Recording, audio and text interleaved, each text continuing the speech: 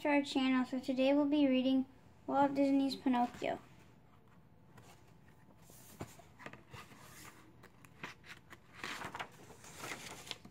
One night, evening star shone down on a tiny on a tiny village.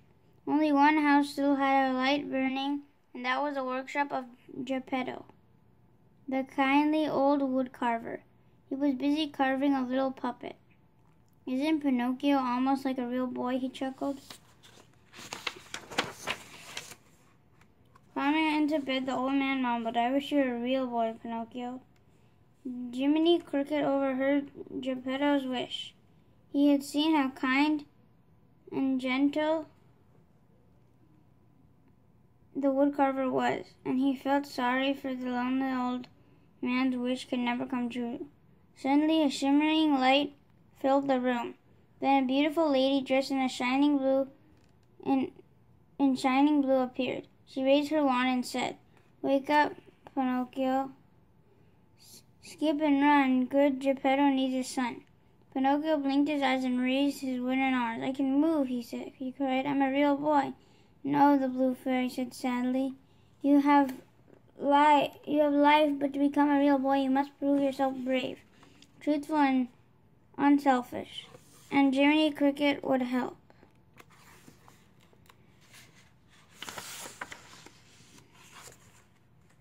The next morning, Geppetto couldn't believe his eyes. There was his puppet laughing and talking and running. It's true, Father, Pinocchio cried. I'm alive. After the initial joy was over, Geppetto said, But now, Pinocchio, you must go to school, study hard, then soon you'll become a real boy. Meanwhile, Jiminy Cricket had overslept and now jumped up in a great, great hurry. He caught up with Pinocchio just as the silly little puppet was walking off with the worst pair of scoundrels in the whole countryside, Jay Worthington, Foulfellow, and Gideon. The villains convinced Pinocchio that he should forget about school and become an actor. But Pinocchio, cried Jiminy, what would your father say? Pinocchio said, Father will be proud of me. Soon they came to a marionette theater. When its owner Strombolio saw Pinocchio, his small evil eyes glistened. What a drying cart, he exclaimed, a puppet without strings. The fox nodded. And he's yours, he said, smiling greedily and holding out his paw for a certain price, of course. That night, Pinocchio sang and danced. The audience cheered for more. A puppet without strings is a miracle. But when Pinocchio started to head home for the night, Strombolio snarled at him. You're mine and you stay here and beg. Before Pinocchio could resist, he was locked in a bird cage.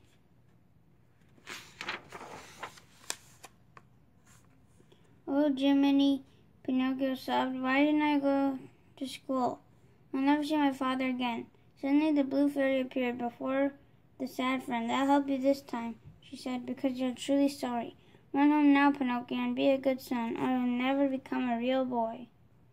Phew, Pinocchio sighed thankfully. Let's go home. He and Jiminy started running as fast as they could, but whom should they bump into? Foulfellow and Gideon. This time Foulfellow persuaded the gullible puppet to forget his good resolution and take a rest cure on Pleasure Island. You promised to go right home, Jiminy cried, but Foulfellow says, I need a rest after my terrible experience. They came to a coach bound for Pleasure Island. It was pulled by small donkeys and filled with noisy boys. As Pinocchio climbed aboard, Jiminy saw an evil-looking coachman slip Foulfellow a heavy bag.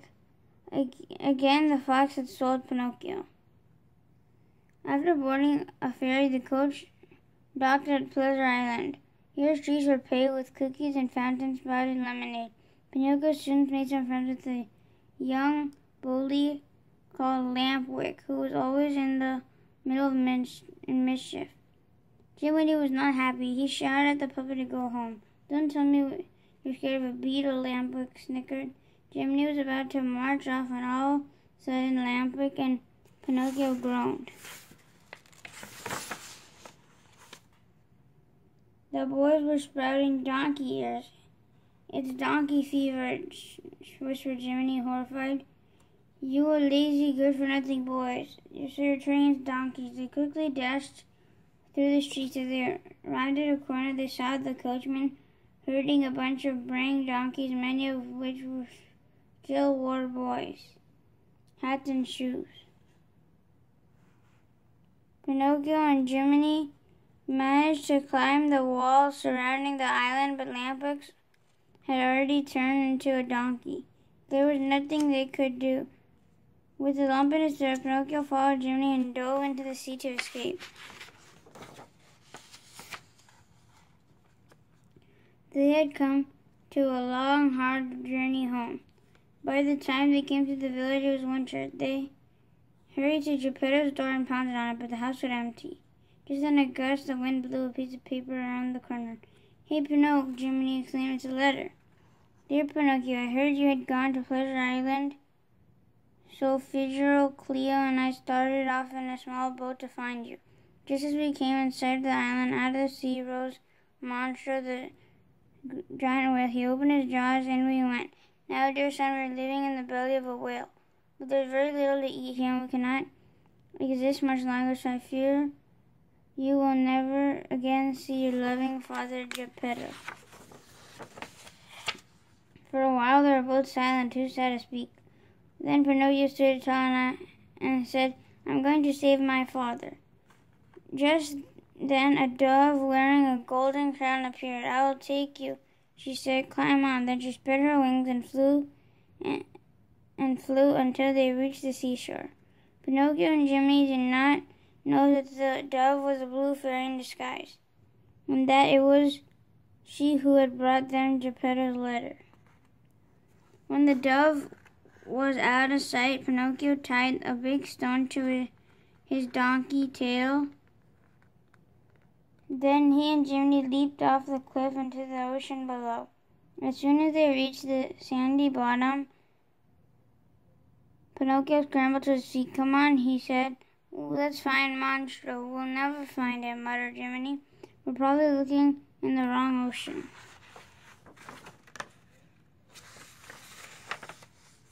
Jiminy was wrong. Very near them floated the whale they were looking for. Fast asleep inside the whale was Geppetto.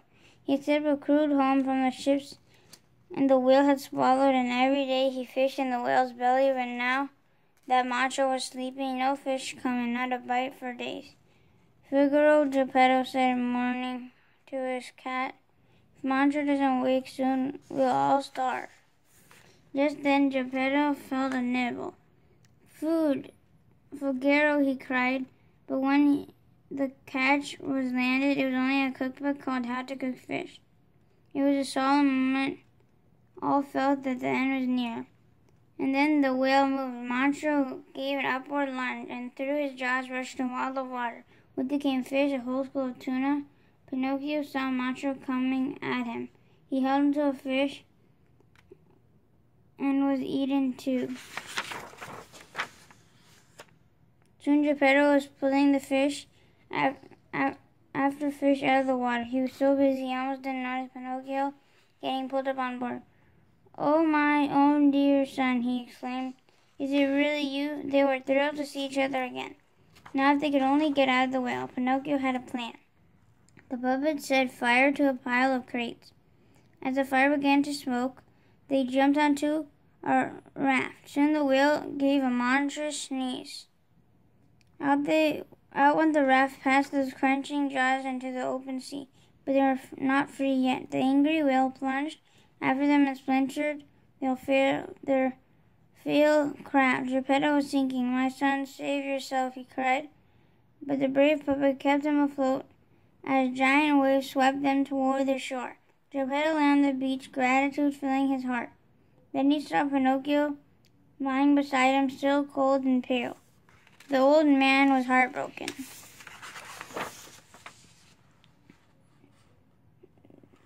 Geppetto gathered poor Pinocchio into his arms and headed home. Then he prayed. Suddenly a ray of starlight appeared. A soft voice said, And someday, when you have proven yourself brave, truthful, and unselfish, you will become a real boy. Pinocchio sat up. He looked at himself and felt his arms and legs. Then he knew, Father, look at me, he cried joyfully. The blue fairy promised had come true. Pinocchio was a real live boy. The end.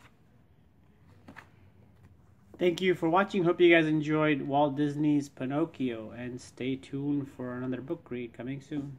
Take care, guys. Be safe and make sure you guys are reading. See ya. Bye. Bye.